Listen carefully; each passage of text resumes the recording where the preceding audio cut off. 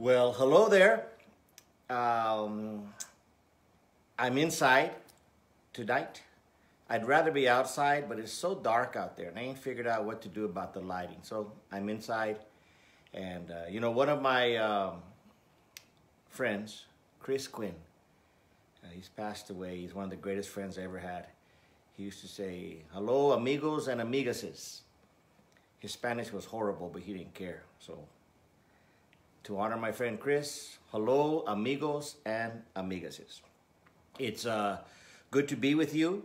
It's um, exciting uh, as we are plunging into the Sermon on the Mount. We're just slugging away at it, and it is rich to study, and I hope you're enjoying it as well. You know, the more that one studies the teaching ministry of Jesus, uh, the more impressed one is with his skill as a teacher. Jesus was a master teacher. Uh, for that matter, he still is.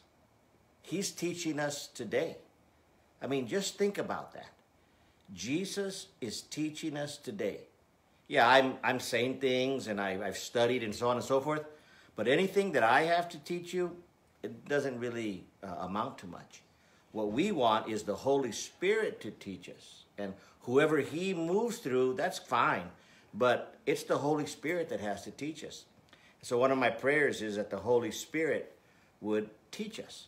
And it's the Spirit of Jesus. And so think about that. Jesus taught in such a profound way that 2,000 years after this message was taught, uh, we're learning from it still. To me, that is a miracle and that is so cool. You know, one of the most gifted, charismatic, big hearted leaders I have ever known is a man by the name of Wayne Cordeiro. Uh, he's a, a, a, pastor and a friend and a mentor to pastors. He's pastored for years a church in Hawaii. And he's, he's the man that taught me the real importance of spending time every day with Jesus. He wrote a book about it called The Divine Mentor. If ever you get a chance to pick up a book by Wayne Cordeiro called The Divine Mentor, um, and basically, he talks about the importance of having mentors, both living mentors or mentors from hundreds of years ago in books and on the job mentors. All of that's important. But the point that he makes is Jesus becomes our divine mentor through his word and prayer in interaction with him. Think about that. Jesus mentoring our lives. So he's actually mentoring us right now. Now, when we dig into the Sermon on the Mount, Jesus, by his Holy Spirit, is shaping and teaching us right now. How cool is that?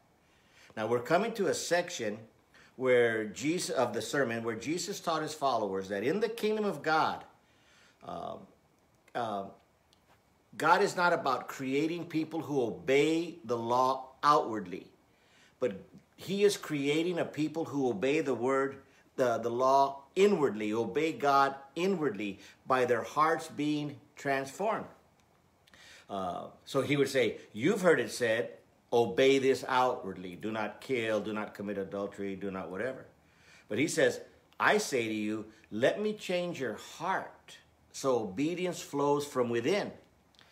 And so I want to suggest right now a, a shift in mindset that I believe makes all of the difference in the world. Instead of seeing obedience as doing what God tells you to do, which it is, but instead of seeing it that way, think of obedience as lining up with God's absolute best for your life.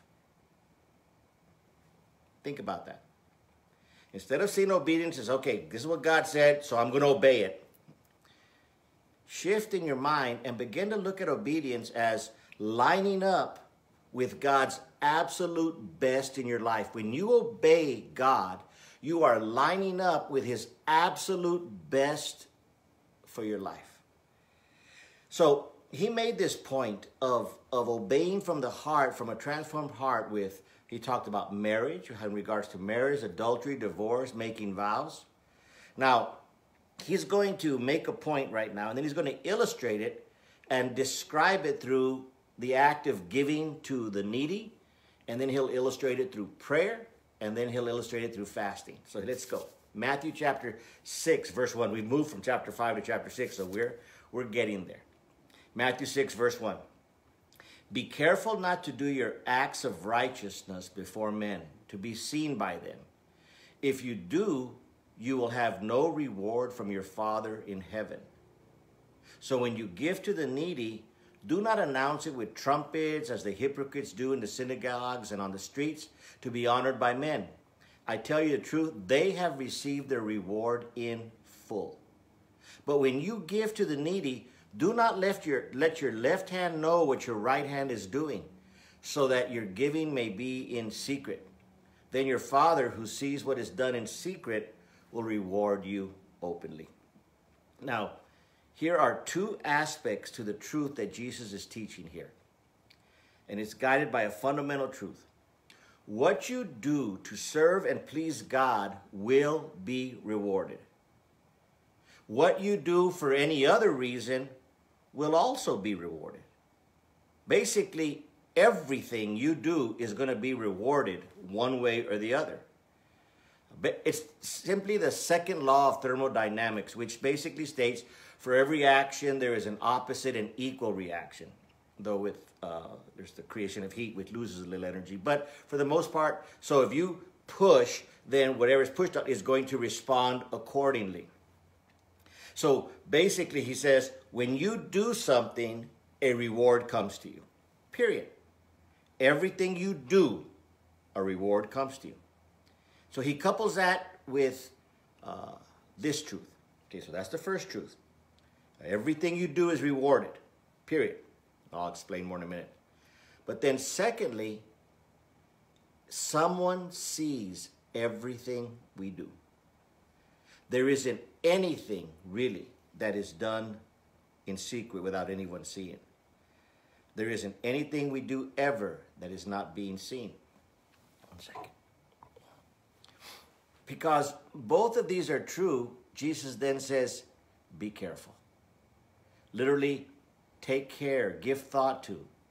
You know, if you were hiking with a friend and you came out to this washed out trail that had a ledge on one side and it's strewn with big rocks, and your friend says, Hey, be careful, you would know, give special thought or consideration where you were walking. I ride a motorcycle, and I was riding with my, uh, my buddy who uh, was a, like a mentor to me in the riding of a motorcycle. This is way back, like 2003. And one of, on one of our first trips, I was behind him and I looked and his foot kicks out to the side. I thought he had a cramp. And uh, his name is Tim.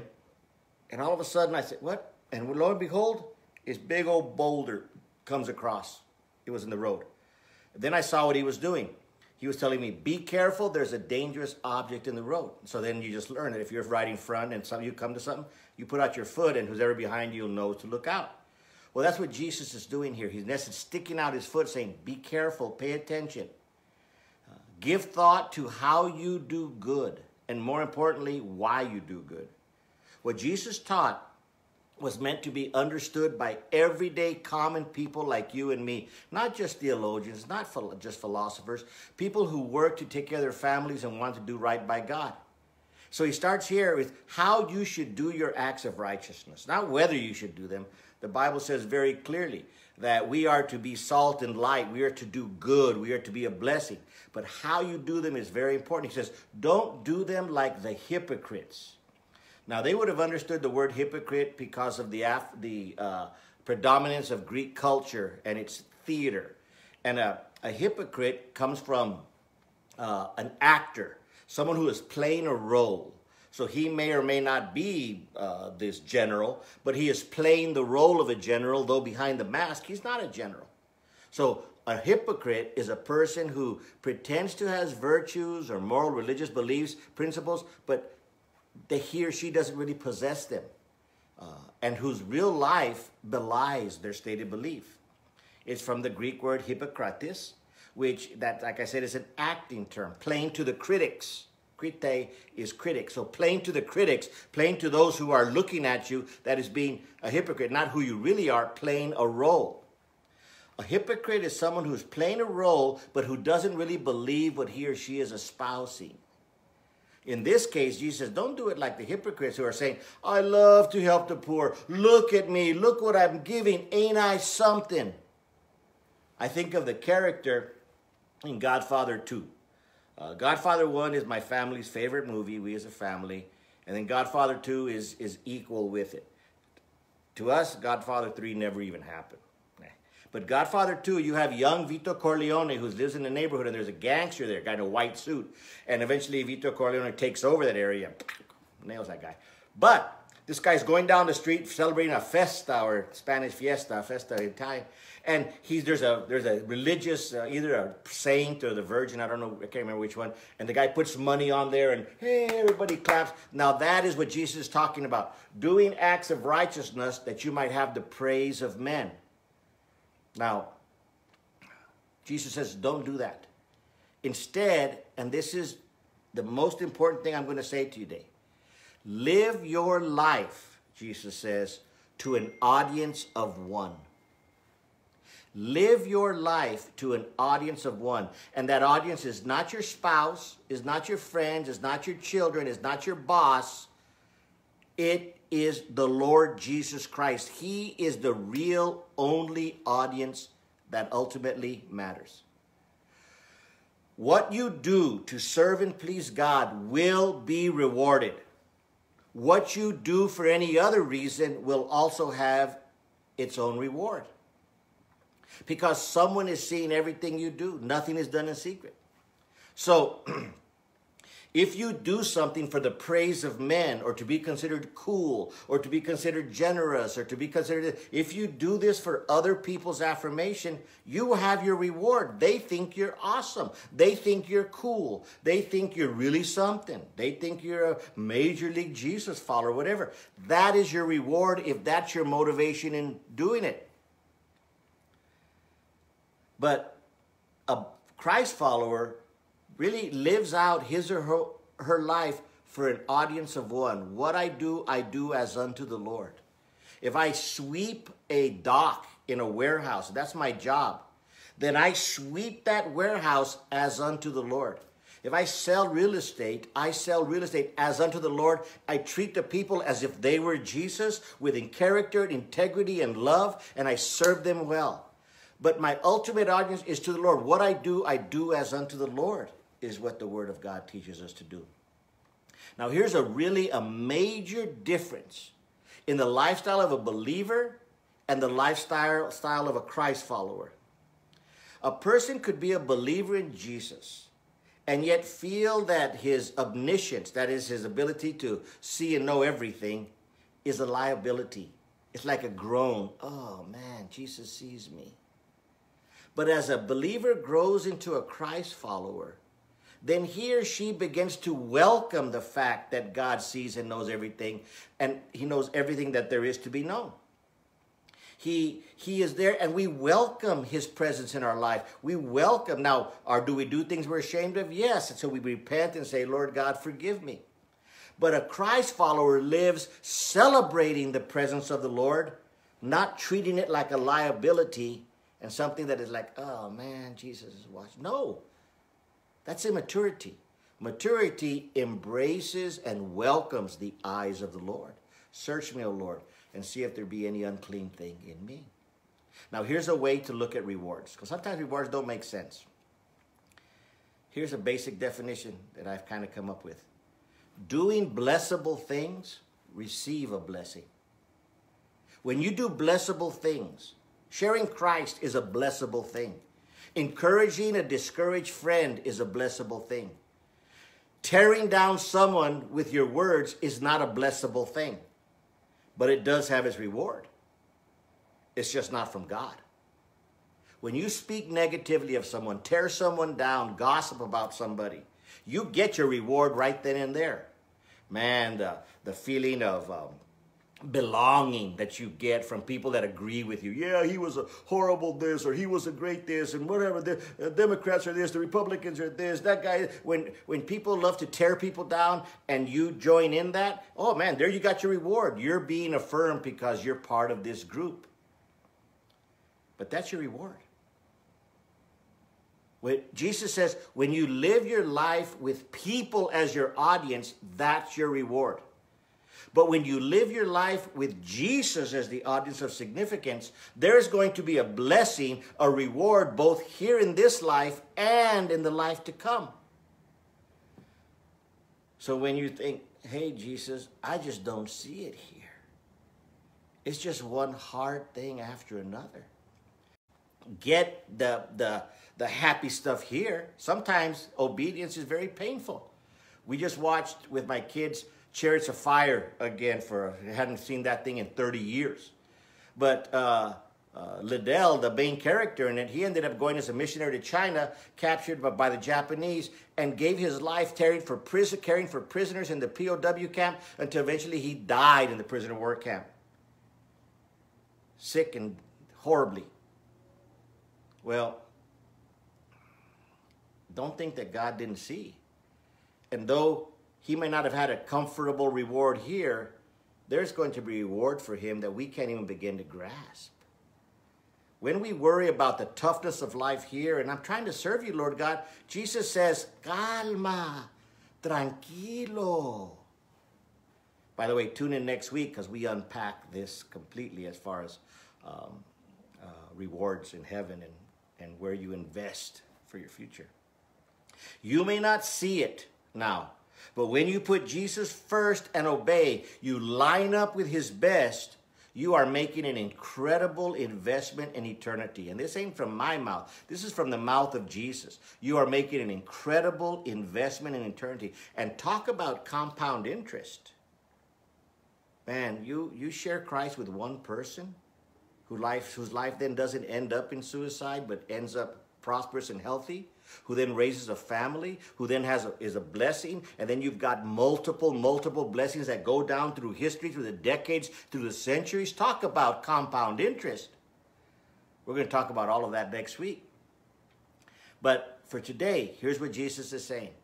Be very careful how you serve. Make sure you serve to an audience of one who is Jesus, not for the praise of men, but for the one who sees. And when you serve him in secret, he sees and he will reward you openly. So, um, I want to tell you about something that I'm launching, by the way. You know, I've been wondering, what am I supposed to do with my fourth quarter? I, have pastored, I've led a, a college, now university. Uh, I've done all kinds of stuff, wanting to serve the Lord since I was 17. And now I'm in my fourth quarter. What am I going to do? You know, I've spent the last 40 years investing in people and learning a lot from them. So I really believe I heard what I was supposed to do. Besides being this a teacher and a writer and a speaker in the Cana Project, I attended some class intensives, took some tests, and now I'm a certified life coach and I'm launching Flores Life Coaching. My signature offer is something called Dream Reignite. I believe there's a bunch of people who are entering or in their second half of life and are wondering, now what? So I'm going to help people rediscover and reignite their dream and develop a day by day followable plan to get there. This could be one of the most significant investments people ever make in themselves. So if you are interested in having a free 30 minute conversation about your life and future, just write coaching, coaching on the comment section of, of this video. And then I'll reach out to you uh, with an invitation. Very excited about this and uh, pretty wonderful. Now, I know it's been a tough season since coronavirus came to the party.